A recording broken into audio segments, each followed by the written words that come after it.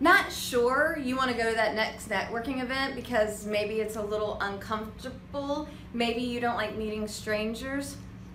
I'm Tiffanie Kellog and I want to share with you our networking nugget from the four and a half networking mistakes. Networking nugget number five talks about tag team networking.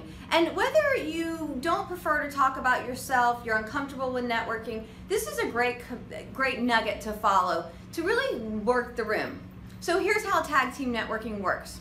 You want to get together with somebody in your network. Now, it can't be somebody that you're married to in the same company with or family.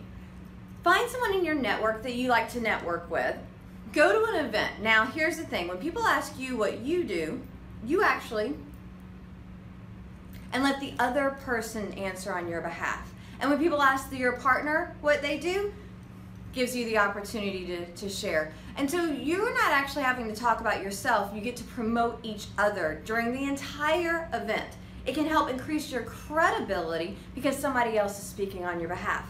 Now, what should they be saying? I like to say there's three pieces. Number one, you want to have them share your name. Pretty simple, I hope.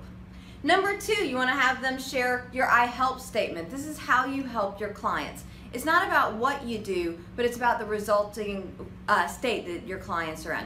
And then the third thing is a short testimonial, success story. Share something that you've created for your clients in the last week or two, or even the last month, that they can share. This will come off natural when you plan in advance and give you the opportunity to help promote your referral partner. So, tag team network at your next event.